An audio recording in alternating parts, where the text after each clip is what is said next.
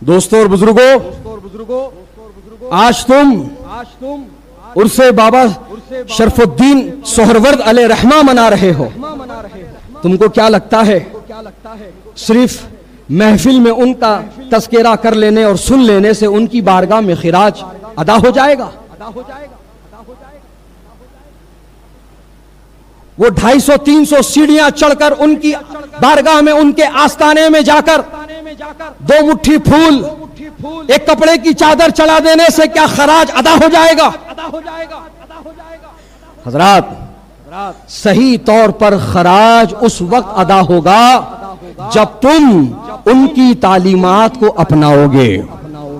ان کے اس حسنہ کو اپناؤ گے۔ ان کے چھوڑے نقوش کو اپنے لیے مشعل راہ بناؤ گے۔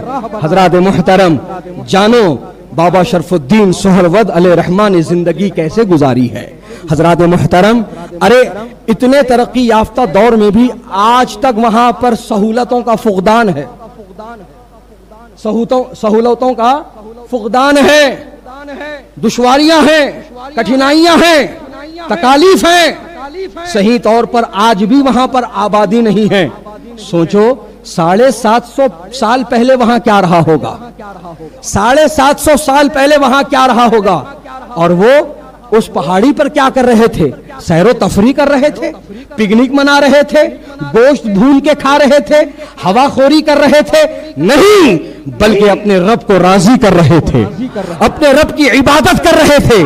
اللہ اللہ، حضرات محترم، اور پھر دیکھو، رب نے انہیں کیسی زندگی موت کے بعد عطا فرما دی۔ کیسی زندگی ان کو موت کے بعد عطا فرما دی کہ انتقال ہو گیا۔ اور پھر وہ نیچے بستی میں آئے۔ نیچے بستی میں آئے اور بستی والوں کو خبر دی بھائیو چلو ایک سالے مرد کا انتقال ہو گیا ہے پہاڑی پر۔ ایک سالے مرد کا انتقال ہو گیا ہے پہاڑی پر۔ اس کی نماز جنازہ پڑھتے ہیں اور تدفین کرتے ہیں۔ حضرات یہ بول کر وہ چلے گئے اور جب بستی والے آگے بڑھے اور جنازے کے پاس پہنچے تو کیا دیکھتے ہیں کہ جس نے آ کر خبر دی، یہ تو انہی کی لاش ہے۔ اللہ اکبر اللہ اکبر۔ یہ ہے اللہ کے محبوب بندوں کا معاملہ۔ دوستو اور بزرگوں تو ان کے، اس میں حسنہ کو اپناؤ۔ ان کی چھوڑی تعلیمات کو اپناؤ۔ کس طرح انہوں نے اپنے نفس کو کچلا ہے، رب کو راضی کیا ہے، ہمیں بھی چاہیے کہ ہم وہ راستہ اختیار کریں۔ انشاءاللہ تعالی پھر کسی موقع سے آپ سے ملاقات ہوئی اور تفصیل سے آپ سے شرف تخاتب حاصل کیا جائے گا۔ اللہ پاک سے دعا ہے مولا کریم، کہنے سننے سے زیادہ ہمیں عمل کی توفیق عطا فرما۔